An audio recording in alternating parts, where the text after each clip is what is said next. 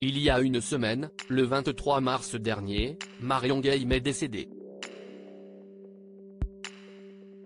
La comédienne populaire était âgée de 84 ans et morte de vieillesse comme l'avait annoncé sa fille Virginie Ledieu.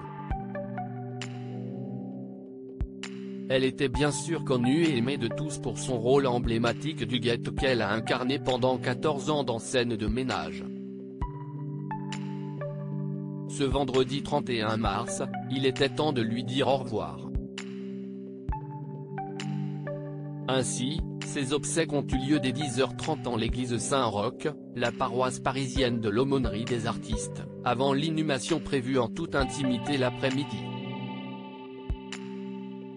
De nombreuses personnalités se sont réunies pour l'occasion, et plus particulièrement Gérard Hernandez.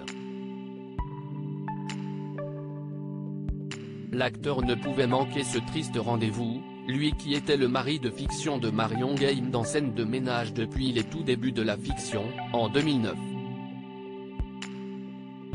Les interprètes de Raymond et Huguette avaient alors naturellement noué une belle relation au fil du temps, aussi taquine que celle de leurs personnages.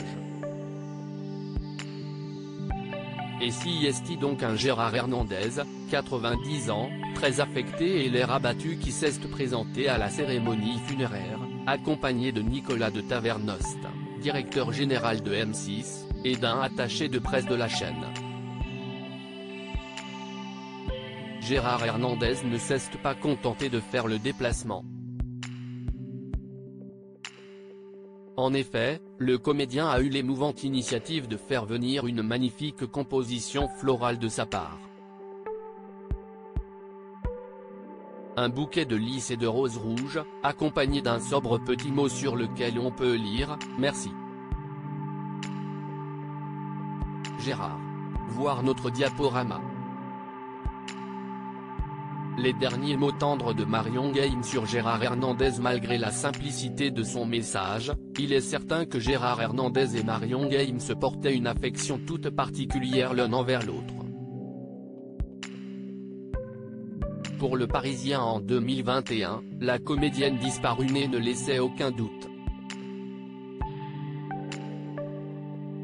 Je sais qu'il a morflé, lui aussi. Il a un fardeau qu'il a déposé et qui ne l'emmerdera plus. On a ça en commun. On est proche des gens, ni au-dessus, ni en dessous, déclarait-elle à son sujet et de le couvrir de compliments, si est un maître à penser, si est un élégant.